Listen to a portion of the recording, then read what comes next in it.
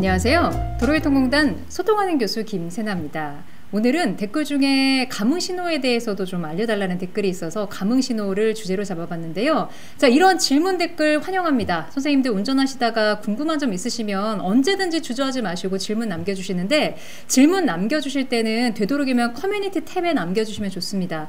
아, 요즘에 정말 많은 분들이 관심을 가져주셔서 댓글들이 너무 많이 달리다 보니까 제가 일일이 확인할 수 없는 경우들이 있거든요. 그래서 우측 상단에 보시면 그 커뮤니티 탭이 있어요. 거기 누르시면 거기에 제가 운전하다가 궁금한 점이 있는 분들은 언제든지 댓글 달아달라고 글을 하나 작성해 놨는데 거기에 댓글 남겨주시면 제가 확인하고 반드시 일대일 댓글 드리고 그리고 이렇게 많은 분들이 좀 궁금해 할 만한 내용에 대해서는 소통 영상 제작해서 올리도록 하겠습니다. 자, 감흥 신호. 말 그대로 감흥하는 신호입니다. 즉, 자동차를 감지해서 이에 반응해서 신호를 주는 시스템이에요. 한마디로 요즘 흔히 말해서 AI 신호인 겁니다. AI 신호. 자, 그런데 각 지자체마다 표지판이 좀 다양해요. 요거 모두 다 가문 신호입니다. 아, 사실은 지역마다 좀 중구난방식으로 표지판이 다 다르게 운영되기 때문에 지금 이거 통일시키려는 개정 음, 작업 진행되고 있어서 아마 조만간 가문신호 표지판 통일될 것으로 예상이 되고 있고요. 자, 제가 이 영상을 제작하기 전에 아, 운전자들은 가문신호에 대해서 어떤 점들이 좀 궁금하실까 궁금해서 어, 제가 커뮤니티 탭에 역시 좀 글을 남겼었습니다. 가문신호와 관련해서 궁금한 점 있으시면 댓글 남겨달라고 말씀을 드렸더니 몇 분이 핵심적인 질문을 남겨주셨어요. 많은 분들이 가문 신호에 대해서 궁금해 하실 만한 질문의 핵심 내용들이 다 나왔습니다. 일단 첫 번째, 저거 자체를 처음 보네요. 예, 처음 보신 분들 많으시죠? 특히나 서울 수도권 같은 데서는 보신 분이 없으실 겁니다. 요거는 주로 농촌의 지방의 지방도나 국도에 주로 설치가 되어 있어요. 이 가문 신호의 전제 조건이 아, 주도로와 부도로가 있다면 주도로의 직진 통행량이 압도적으로 많은 곳에 설치가 될 수 있습니다. 그런데 서울 수도권 같은 경우는 뭐 각 방향별로 다 통행량이 많기 때문에 설치 조건에 적당하지가 않고 어, 주도로 직진도로의 통행량이 압도적으로 많으면서 부도로로 가는 좌회전, 부도로에서 나오는 좌회전 차량은 좀 통행량이 극도로 차이 날 정도로 적을 때 아, 주로 이런 곳에 설치가 되는 거고요. 자, 두 번째. 감흥 신호는 바닥 센서로 인식하는 건가요? 신호주기란 게 있을 텐데 인식하고 그때만 작동하는지 궁금합니다. 예, 맞습니다. 감흥 신호는 바닥에 센서가 있어요. 보시면은 노면에 여기 네모 박스가 있죠. 이 감흥 신호 있는 구간은 대부분 이렇게 네모 박스가 있거든요. 이게 어, 차량을 인식하는 센서가 매설된 그 구역입니다. 따라서 어, 어떤 것은 코일로 해서 자기장 원리로 인해서 차체 하부를 인식하기도 하고 어떤 데는 무게를 인식하기도 하는데 아, 둘다 선생님도 어렵게 생각하실 거 없이 정지선 앞에 제대로 서 계시기만 하면은 아, 좌회전 신호 잘 들어옵니다. 정지선을 넘어가서도 안 되고요. 어떤 분들은 이거 신호 고장난 거 아니냐 민원 넣으시는 분들 계신데 그거는 고 검지 구역 내 제대로 정차하지 않으셨기 때문이거든요. 정지선 벗어나서도 안 되고 너무 뒤쪽에 서 계셔도 안 되고 그냥 정지선 앞에 잘 대기하고 있으면은 신호 들어오고요. 자 그리고 이분이 신호 주기란 게 있을 텐데 인식하고 그때만 작동하는지 궁금합니다. 라고 하셨는데, 예, 신호 주기 있죠. 이게 원래 신호 주기가 있는데, 만약에 이 감흥 신호 구역의 차량이 인식되지 않으면 그 좌회전 신호를 생략해버리고 주도로의 직진 신호만 계속 주는 원리예요. 예. 자, 그리고 어, 한 분은 이런 내용을 남기셨어요. 바이크는 인식 못하는 개념 없는 신호. 어, 예. 아, 사실 바이크, 이륜차를 이 가문 신호가 잘 인식을 못하는 것은 사실입니다. 특히나 오래된 가문 신호 구역인 경우 더 인식을 못하고요.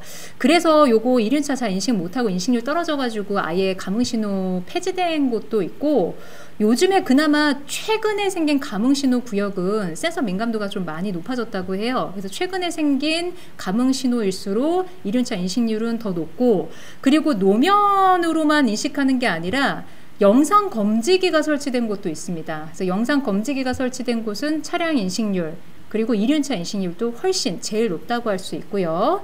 아, 혹시라도 내가 이륜차를 이용해서 이 감흥 좌회전을 자주 받아야 되는데 자꾸 인식을 못한다 하는 곳이 있다면 어, 해당 지자체에 이거 민감도, 센서 민감도를 좀 높여달라고 요청해 보실 수 있습니다.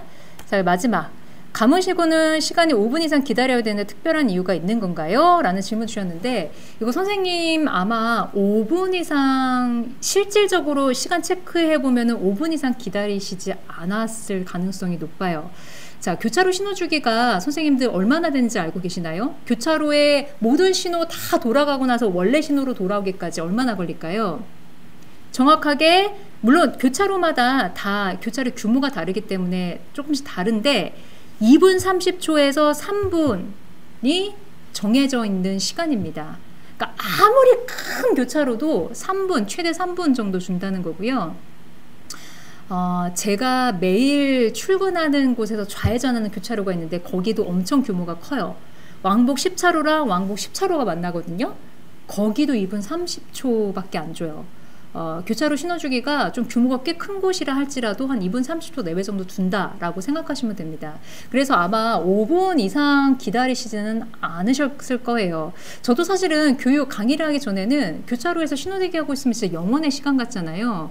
그래서 신호주기 한 5분 정도 되나 보다라고 생각하고 있었거든요. 근데 2분 30초 내외라는 얘기 깜짝 놀랐잖아요. 제가 생각한 것보다 절반 정도밖에 안 되더라고요. 자, 그리고 어떤 분들은 이거 신호 고장난 거 아니냐, 가문 신호, 신호, 좌회전 신호가 안 들어온다 하시는 민원이 들어올 때가 있습니다.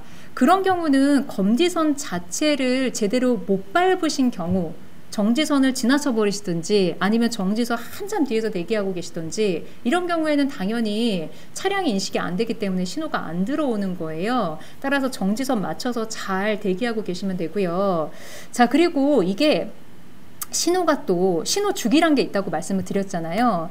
자, 예를 들어서 0초부터 80초까지를 주도로 직진을 주고 80초에서 100초는 주도로 좌회전을 주는데 만약에 감흥 신호 구역에 차량이 인지되지 않는다면 요거를 생략해 버리고 주도로 직진을 주는 거고요. 감흥 구역에서는 그래서 100초에서 120초까지는 원래 부도로에서 좌회전한 차량들의 좌회전 신호를 주는데 요것도 역시 차가 없으면은 주도로 직진 차 량의 신호를 주는 시스템 감흥 신호는 이런 식으로 운영된다고 생각하시면 됩니다. 차량이 인지되지 않으면 그냥 주도로 직진 차량 신호를 계속 주어서 주도로 직진 차량 통행을 원활하게 하는 게 목적이에요. 자, 그런데 만약에 이게 복불복일 수 있는 게 어떤 분들은 5초 만에 신호가 바뀔 수도 있고요. 어떤 분들은 2분 이상 기다려야 될 수도 있어요. 그것은 왜냐하면 예를 들어 볼게요. 자, 어떤 분이 주도로 직진 주는 시간에 한 75초쯤 되는 때에 내가 검지선을 밟았어요. 그러면 불과 5초 만에 내가 주도로 해서 좌회전한다고 생각하면 5초 만에 주도로 좌회전 신호가 들어오겠죠. 그러면 금방 신호가 들어오는 거고요. 만약에 어떤 분은 주도로 직진 딱 0초 되는 그 0초 시작하는 시점에 검지선을 밟았어요. 주도로 해서 좌회전할 건데 그러면 80초를 기다려야만 신호가 들어올 겁니다. 자, 그리고 어떤 경우는 예를 들어서 나는 부도로에서 좌회전할 건데 부도로 좌회전 신호가 100초에 원래는 차량이 있으면은 줄 건데 한 101초쯤에 그 검지선 밟았어요. 그러면 이미 그 신호대가 지나가 버린 거죠. 그러면은 내가 부도로 좌회전이 원래 이전에 들어왔었으면 금방 갈 수 있었던 건데 주도로 직진 신호로 바뀌었기 때문에 거기서 20초를 기다려야 되고 20초 플러스 어, 또 다음 한 바퀴 돌아가지고 부도로 좌회전 들어갈 때까지 들어올 때까지 100초 더 기다려야 되니까 즉 120초를 기다려야 되니까 2분을 기다리셔야 된다는 겁니다. 요거는 이게 120초짜리 교차로다라고 가정했을 때 가능한 시뮬레이션이고 어, 제가 교차로 신호주기가 보통 2분 30초에서 3분이라고 했잖아요. 그러니까 만약에 3분 정도 되는 교차로에서는 신호주기가 내가 정말 그 끄트머리에 이미 지나간 그 시점에 진입하면 한 3분까지도 기다릴 수 있다는 얘기입니다. 자, 아, 근데 선생님들 기다리시다가 이거 신호가 들어오는 거야, 많은 거야, 이거 고장난 거 아니야, 신호 안 들어오는 거 아니야 하고서는 기다리지 못하고 그냥 좌회전하시는 경우 있거든요. 이런 경우는 신호 위반에 해당합니다. 요거 적발되시면 벌점 15점 들어오고요. 그리고 범칙금은 승합차 7만원, 승용차 6만원 들어옵니다. 자, 그리고 만약에 사고라도 유발하셨다면 단순히 거기서 그치지 않아요. 신호 지시 위반 사고는 형사처벌 대상입니다. 12대 중과실에 해당하기 때문에 이 12개 중대법규 항목을 위반해서 인명피해가 발생한 사고를 유발하시면 무조건 형사처벌 됩니다. 이거 실제로 어, 감흥 신호 좌회전 구역에서 신호 안 받고 좌회전 하셨다가 사망 사고 난 경우 있어요.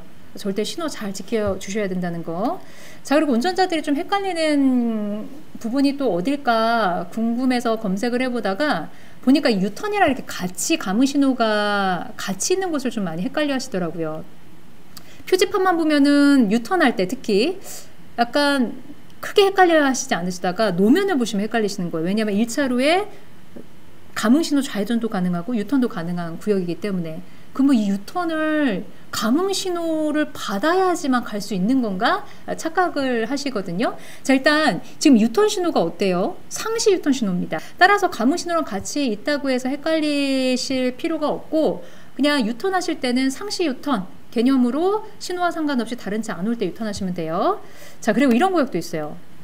이거는 여기는 제가 매일 퇴근하는 길인데 여기 가문신호 구역이에요. 가문신호 구역인데 노면도 있고 저 표지판에도 가문신호라고 써 있는데 표지판 옆에는 신호를 잘 보세요. 여기가 좀 좌회전 구간이 조금 좀 독특하게 생긴 구역인데 여기 유턴처럼 생겼지만 여기 직진하는 차량들이 있습니다. 아무튼 좌회전이에요. 가문신호 좌회전 구역인데 감흥 신호를 보면 신호 자체가 깜빡 깜빡 깜빡 깜빡 적색 전멸로 운영되고 있죠. 이런 곳에서는 어떻게 가야 할까요? 헷갈리시죠? 자, 적색 전멸의 의미가 뭐죠? 적색 전멸은 일시 정지 후 주변 잘 살피고 진행하면 되는 신호입니다.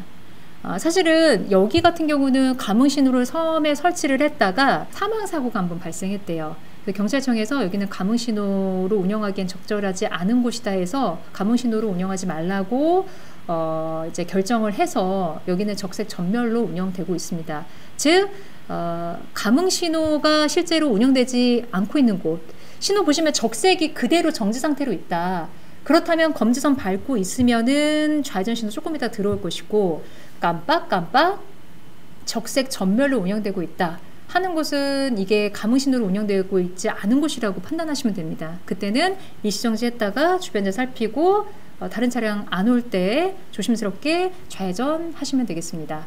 자, 오늘 감흥 신호에 대해서 처음 보신 분들도 만약에 나중에 여행 가거나 출장 갈 때 감흥 신호 구역 만나면은 당황하지 않으시겠죠? 자, 감흥 신호 구역에서는 정지선 잘 지켜서 그 검지 구역 안에 잘 서 계시면은 반드시 신호가 들어오기 때문에 좌회전 신호 받고 좌회전 하시면 되겠습니다.